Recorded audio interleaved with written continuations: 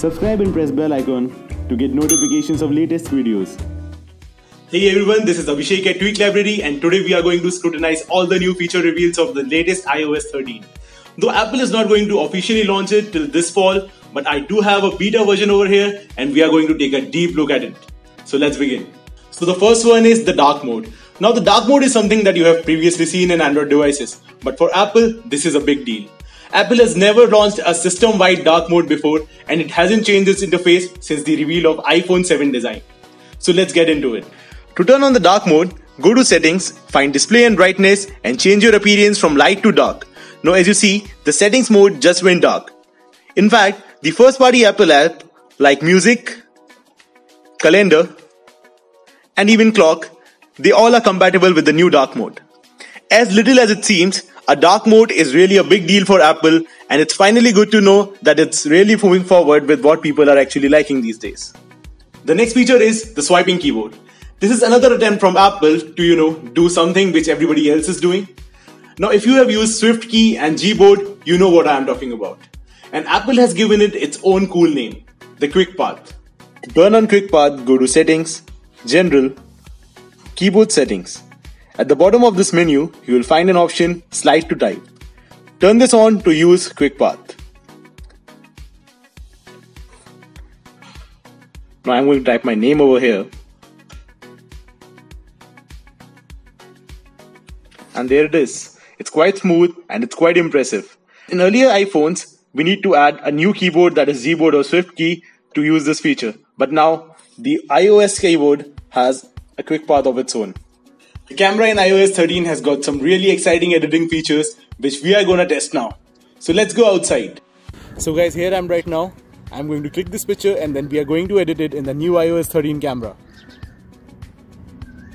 So guys, right now I'm recording a video which is also we are going to edit with the new iOS 13 video editing features. So guys, we just went outside, we clicked the picture we made a video and now we are going to edit both using the new iOS 13 camera features.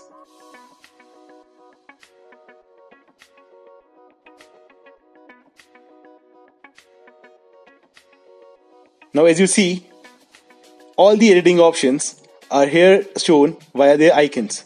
There is brilliance, highlights, shadows, contrast and everything that you need to edit this image. Let's try something.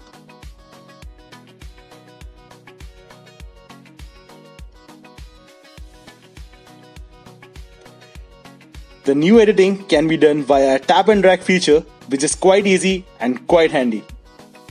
Done. And that's your photo saved over there. Now let's edit that video.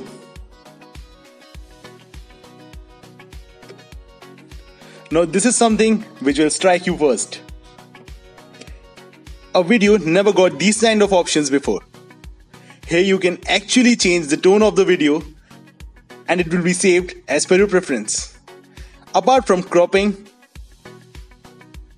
shades, you get the saturations options that you get in photos to edit the video as well.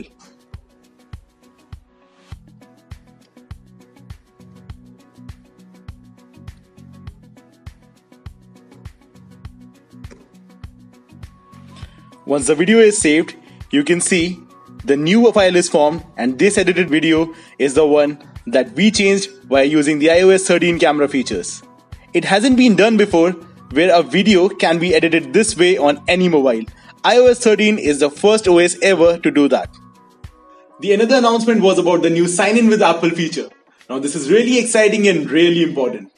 Apple is seemingly stepping forward to concern with your privacy issues or probably is just preparing itself to not go into a Senate hearing just like Google and Facebook did.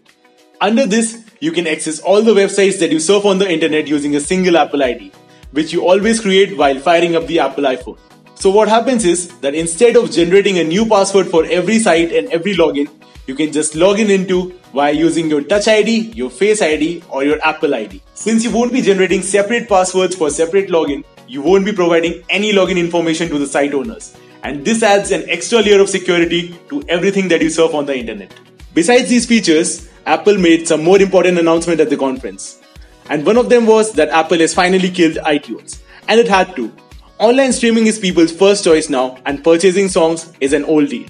Apps like Amazon Music are already offering a variety of songs under single subscription, and it was affecting iTunes' popularity at a massive level. Now, iTunes will be replaced by Apple Music, where you can stream your own music just like every other app. This is what your Apple Music app will look like.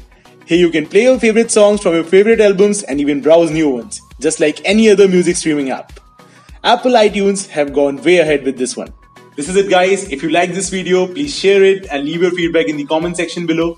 For more tech updates and tech solutions, you can subscribe to our channel by pressing that button down below. Till then, this is it from Tweak Library. See you soon. Goodbye.